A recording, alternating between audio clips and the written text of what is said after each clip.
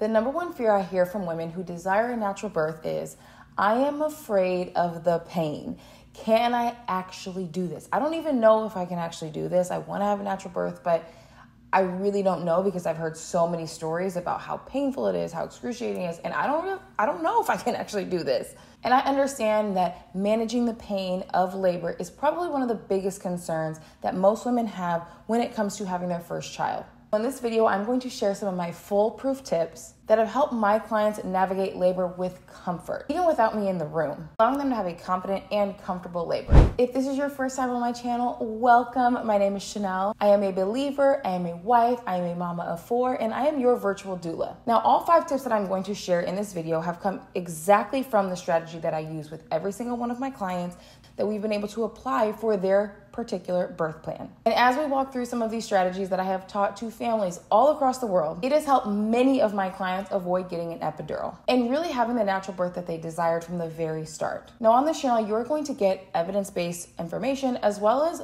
real life experiences. I help couples all around the world who desire to have a natural birth and actually want to do it alone. And instead of having a doula in the room with them, they want their partners to be that main support person, that main support role, that daddy doula. But because of the overwhelming amount of information online and even some of the fears that they have about pain, how to do this, how to have a natural birth, how to navigate the hospital system. They want somebody to guide them through that process. And so, as a virtual doula, I support my clients educationally and provide online coaching with them throughout their entire pregnancies to ensure that mama knows how to do her job, which is trusting her body to do what it was designed to do, and allowing the partner to do their role and equipping them to do that so that they can keep mama comfortable, so that this can be an intimate experience, so that they can advocate for themselves in the hospital setting with their providers to really navigate the birth experience that they want. So, if this is you and you want to have this experience with just your partner, but you want to make sure that you have all of the tools and knowledge to actually do this,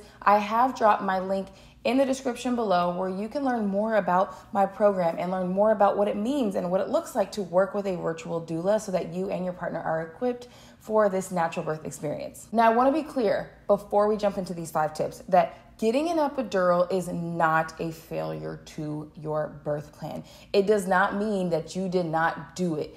Getting an epidural is a choice, and it is important that we understand that every woman has a choice to the type of birth experience that they want, whether that is medicated or unmedicated, or if that just means that your plan changes. What's most important to me as a virtual doula and somebody who supports families through this entire journey is that you have the tools. You know the options, you know your rights, you know what you can utilize to avoid the epidural as long as possible if that is your desire. And I have found that equipping my clients with the tools and the knowledge necessary has allowed them to actually labor much longer, if not the entire process, unmedicated. And if they did choose to get the epidural, it was because they had exhausted every single option before that point. All right, now let's jump into these five tips. Tip number one is understanding your fears. One of the most important things that I have to work on with every single one of my clients is overcoming their fears and getting them mentally prepared for birth. Birth is 80% mental and 20% physical. And a lot of people want to fight me for that, but it is true. When we talk about the pain of labor, that is the thing that is the most prevalent in the conversations when it comes to natural birth and the pain that comes along with labor. But the reality is, if your mind is not in the right place, you're absolutely going to experience a painful labor. And becoming mentally prepared for birth starts with addressing the fears that you may have when it comes to birth pain being probably one of the biggest ones, tearing being another one, even being able to make it out alive is another fear that a lot of my clients have dealt with at the beginning of this process. And the truth of the matter is, if you do not address those fears at the very beginning of your pregnancy, or even sometime throughout the pregnancy, they will most likely show up in labor. And the reality is, if they show up in labor, that is gonna throw your whole mind into the wrong place when you need to be in a calm, grounded place in labor. So, addressing your fears is extremely important for you and for your partner at the beginning of this whole process of prep because if you do not address them, they will affect you. And if you have never heard of the fear, tension, pain cycle, this explains it very, very well. What the fear, tension, pain cycle explains is that if you have some sort of fear that you have not addressed, there is some level of anticipation that will happen when this sort of fear shows up or seems familiar. If you see something or you anticipate a fear coming true, if you see something that reminds you of that fear, especially in labor, or you are afraid of your contractions, that is going to cause tension in the body. And if you have tension in the body, that is going to cause you to experience more pain because now instead of your body going with the flow of what's going on, your body is fighting against what's happening in your body. And that will cause you to have more pain or experience more pain. And that is so true in labor. And I can talk about it firsthand. I can talk about it from the clients that I've worked with.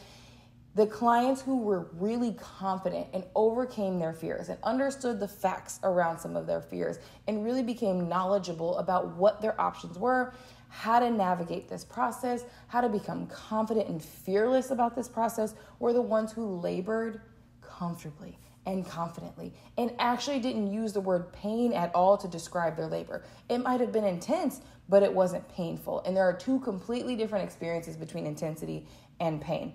And speaking from somebody who has had a painful birth and has had a pain free birth, there is a very distinct difference. When I had a painful birth, it was because I was afraid of the contractions.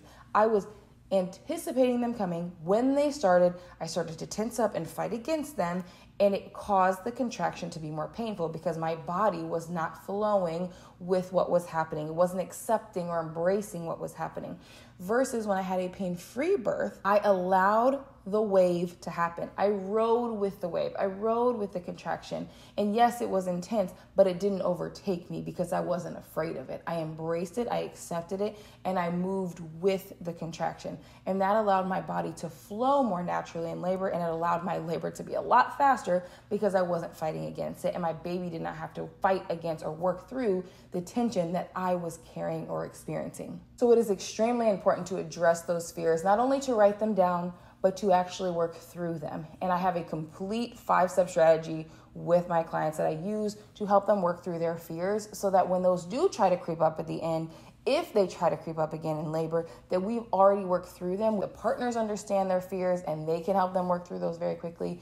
And we have strategies around how to keep ourselves in the right state of mind throughout the entire labor process, which ultimately allows us to have a more comfortable process because we are more confident. Tip number two is practicing mindfulness techniques. Now, you may be hearing this a lot when it comes to hypnobirthing.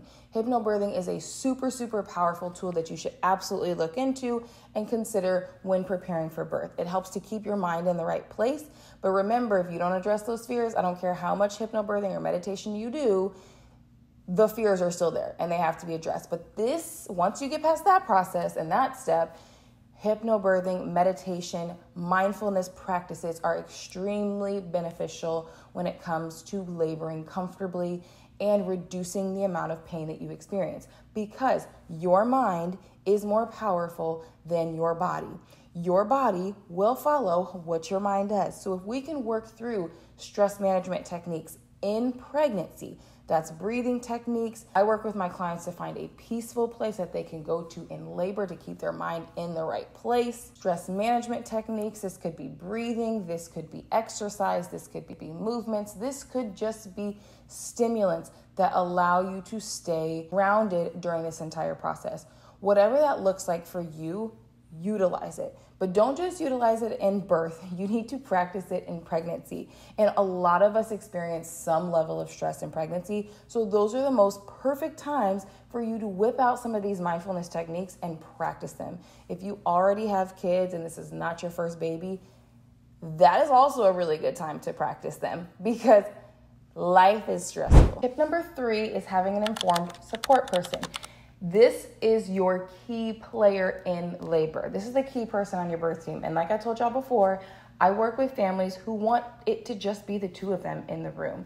And if your partner is not equipped or informed, it is really difficult for them to support you in labor. So it is important that they're going through this process with you, they're getting educated, they're going through the classes, they are learning what their role is.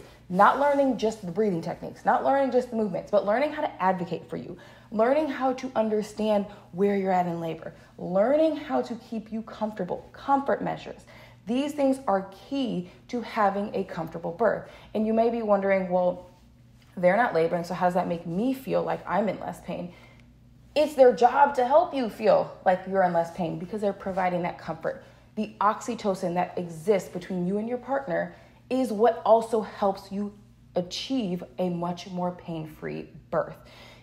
Not everybody's gonna experience pain free birth, and there's no reason that you should feel like you failed if you didn't have a pain free birth or that it was intense or you experienced pain. But what I can tell you from experience is that partners who knew how to keep mamas calm in labor, who knew how to touch them in the right place, how to comfort them in the right place, how to ease their mind at the right time, who knew how to get people out of the room because they were distracting mama's mental birthstone those are the births that are the most smooth, calm, and confident ones. To really be able to trust your partner in this process goes a very, very long way. But if your partner is just kind of doing the bare minimum, there's a good chance that you're not going to trust them enough to rely on them. You're going to be trying to do all of this by yourself.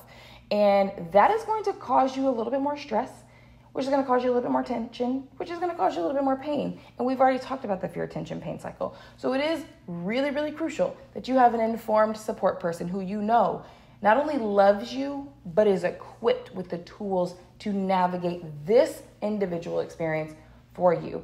And your partner is your rock. And I call my partners daddy doulas because they do play that role. They are capable of playing that role if they have the tools and the practice and the support to do so. But if your partner is just kind of showing up and they think they're strong and they love you and all the things, you're probably not going to get all that you could get out of them. So make sure that you guys are doing this together, just the same way that you made this baby together. Tip number four is comfort measures. Now, comfort measures are really key to staying comfortable. Go figure. But think about birth and labor as a dance between you and your baby and your partner. You three are the key players. You're the team and you're working together. So you want to make sure that you trust your baby just the same way that your baby trusts you and that you trust your partner in the same way that you trust your baby and that you trust your body because all of you need to be working in a rhythm for this experience.